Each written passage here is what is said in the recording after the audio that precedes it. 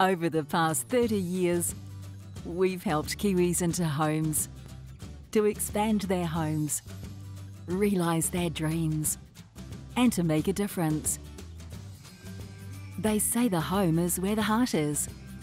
So thank you, New Zealand, for giving us a place in yours. We can't wait for 30 more.